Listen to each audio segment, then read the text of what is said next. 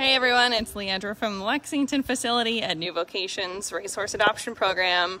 Julie and I are going to bring you guys along during dinner time here at New Vocations and we'll talk a little bit about what goes into the food because I think something that a lot of people have questions about or struggle with is feeding your recently off the track thoroughbred with time. Any of them can, of course, adjust and their metabolism will slow down, but we're talking about hyper, hyper athletes who are asked to push their bodies to the absolute extremes.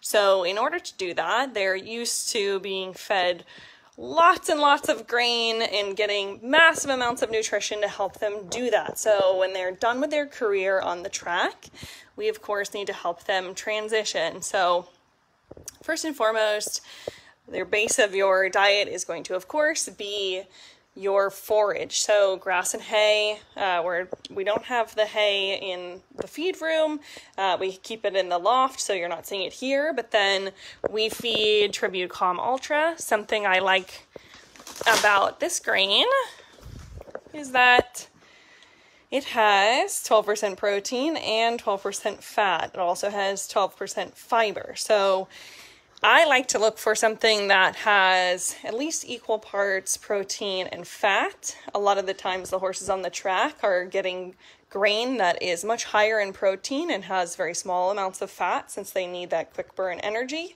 But in the long term, as we're asking them to slow down their metabolism and build those fat reserves so that they have that bloom that we ask of our sport horses for other disciplines, so like that nice fat hunter look um, and that more filled out look, especially as they continue to grow, age, develop, mature. They're going to need a little bit more help since they don't need to just have that streamlined speed anymore. So I like to look for that fat and protein and a little bit of a higher fiber so that they can slow down that burn rate and really get those reserves. So let me just show you a few other things in our arsenal here. We're really lucky to have the support of Hagyard's team. So we use, if we think a horse has ulcers, the gastric support Relyne GI, which also has joint support, but for some horses who just might need the select joint support. We have that as well. In the summer, we feed a combination of brewer's yeast, which we have quite a bit of, which is a great source of vitamin B, as well as a uh, garlic that's designed for horses. It's important not to just feed, thanks, Julie, uh, garlic sort of willy nilly because you can actually create toxic amounts um, in their system. So get something that's designed for horses and follow the instructions. Uh, we also will put in apple cider vinegar. We usually uh, we have a organic one that we put in their food because we also use apple cider vinegar on their bodies externally. It helps to create that shine, repel flies, has a lot of purposes. You'll see some of the other things that we use.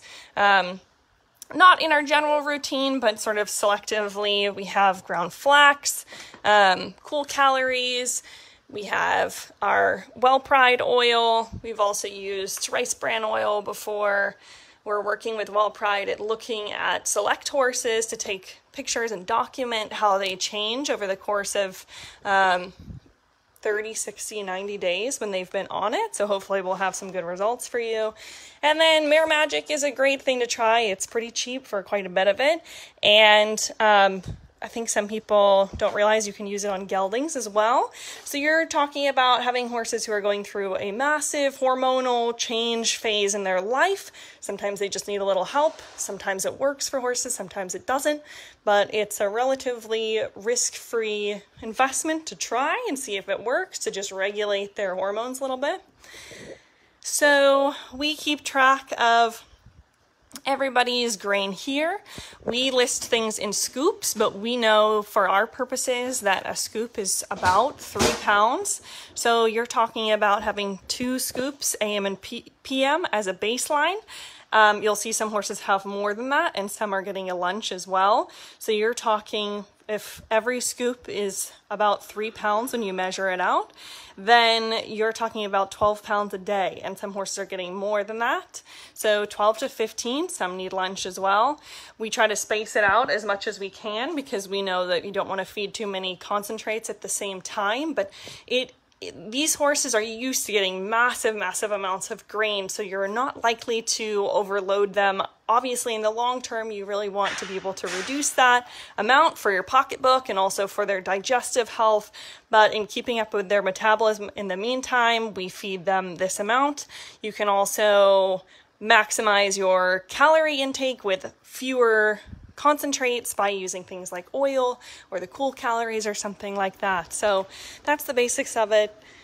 Because we have supplements that not every horse gets, um, we have mixed them up into buckets. Makes it easier to keep track of. We prepare the buckets ahead of time and then they actually hang up on those hooks in the wall so that it's prepared and it minimizes any confusion. If a horse needs bute or SMZs, say they have a cut and we're trying to treat that, then they have a little, um, they have little like Ziploc brand tubs here that will mix up uh, the SMZs. The, the oftentimes you're getting tabs. The tabs dissolve really nicely, and we'll put a scoop of bute or a gram uh, in with those tubs and put them in there so that they can be mixed in. If the horse doesn't like it that way, you can get these big 60 cc oral syringes. Those are single use. You'd want to dispose of that, or if it gets dirty, chuck it. Um, so that's the basics of it. Let's go ahead and deliver them their dinner. If anybody has any questions along the way too, feel free to type them in the comments box.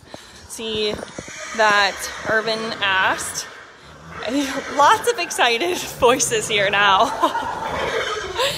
um, the vinegar we use in their grain as a predominantly a seasonal fly repellent that's a feed through. We use it externally for treating things like fungus, helping their coat shine. There are so many different purposes uh, or benefits of using apple cider vinegar that um, I probably couldn't explain all of them here, but it's it's a really good multi-purpose tool. So uh, really easy to find. So it's it's a good thing to try nice happy horses. This is every day is a holiday. Enjoying his meal. It's a good thing to keep track of also. Um, we have these little feed through. Many of our horses feed are fed in little corner buckets. Some have ground feeders, but we can also sort of keep track of who is more protective of their grain. And he's just very, very engaged in his meal. So when I try to touch his forehead, he's acting surprised. But you see, he's uh, a little annoyed that I'm right here, but he's happy to receive the grain. This is pretentious. He says I like to act grumpy. But I'm very hungry right now. Eating his meal up. In in Companion, one of our champion eaters. So this is a horse who had ulcers when he came to us and we treated him with Relyne, had him rescoped so we could see the progress and everything. And you can see he's at a point now. You can't see his ribs. He's got much more of a shine. He had a really dull coat before. This is a really big improvement for him. And uh, he used to kind of pick at his food, whereas now he finishes his meals. He's a very slow eater, though. So it's important to recognize those sort of things because it's not that he won't finish his grain, but he likes to just take his time. So every horse is an individual. We have to remember to treat them that way because some will eat at different rates. And um, you just have to kind of give him his time to finish that. Dr. Door here, you can see he, he came with this really nice, he just naturally has that dappled coat but he has a massive barrel and you can see even um, it's not really apparent from all angles but you can see we can still see his ribs a little bit there and he's working on getting that belly but the ribs will go away when they finally slow down their metabolism to the point that they can really use those fat reserves well. Um, it'll start to show so they have to meet those internal fat capacity to, sh- to show it on the outside. So he still just burns right through it. Um, you know, he's in turnout most of the time now. He's rehabbing from some suspensory desmitis. and um, that can just take a little bit of time. It's hot, they'll be stomping at flies, so he actually gets a uh, lunch and we bumped up his food and he gets the well pride oil so um, he's really working on that and you'll see also he's kind of using his hay like bedding at the moment but they all always have hay in their stall we have a um, grass mix and we like to have alfalfa. At this point in the season, we just buy extra alfalfa to help them out because it's uh, with the first cut, we didn't get as much alfalfa in our grain, but you can always supplement that. Um, this lady stopped shopping, sorry, Stop spending Maria. Um, Stop Spending Maria 2017. She just came to us. This is another great example of a horse who's just been turned out. So she's um, gotten a lot of forage. You can see she has a belly, but you can still see her ribs. Um, so she just came recently, like I said. So we're helping her build up some of those fat reserves. We add fat to her grain and that will help to fill in those ruby spots. But horses who are mostly on pasture, especially young ones who still have maybe higher metabolisms naturally or just ones who are growing so much. She's huge. It might be hard to tell in the video, but she's a really, really big girl. So um, when they're growing a lot like that, they can go through these different phases of sort of slimming out and everything. So that's what we're going with for her. Um, this lovely lady has been with us a little bit longer and just made it over to training. Her name's Our Magic Cat 2016. Really, really excited to have her in training because she could not be a sweeter horse. Um, hello, what you doing? It's hard to kind of see here. Hello. Oh, thank you. You sharing your grain with me. And then also a really good thing to pay attention to is if you have a horse who's dropping a lot of grain, isn't finishing their grain, losing weight, just check their teeth. It, it's really simple to, um, if you use a couple, like your index and your middle finger, you can sort of run it up the sides of their mouths. You can feel the premolars. You won't be able to feel all the way back, most likely. But if those premolars are sharp, that's a pretty good indicator that they need their teeth done. So make sure you check those. And then with the younger horses, we're looking generally at every six months getting their teeth done. Um, and then as they get older, you can kind of go to a once a year routine. Here's all I need, scarfing down her food. That's one to look out for who might be going up on the website very soon. And then Miss Naggedy Ann, she has a ground feeder. See who else we can see here. Any other questions? Silver Bank, another one to look out for, coming up online soon. She's a really, really sweet, more petite, smaller build dark bay.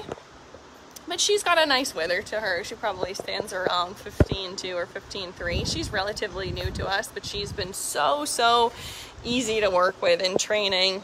Really, really nice personality. And she actually took a little bit more time to adjust to eating a bit more too. Um, she just had other things on her mind. She wanted to go hang out and play. She didn't really care so much for that, but she ate a lot of grass, so we wanted to, you know, obviously get her to scarf down as much as she could. Miss Golden Annie, she just came back from getting a tumor removed from her ovary. Hey, Cranky. Um, this is a horse that our chiropractor previously had said was obese. You can see she um, is working on getting a little more groceries now. She, but when she wasn't feeling good, she started to kind of not look good. Um, and she maintained more of her um, thoracic sort of girth, but not so much her hind end. She's really lacking in muscle in her hind end. And so now as she's starting to get turned out and just starting to get back into that working mode, that um, she is having a better appetite and a better attitude and we're working on all of that. So here we go. We've got feed time. You've learned a little bit of the basics of how we do things here. And if you have any questions, please feel free to type them into the comments box even after we end this video. And that's the basics of how we run things.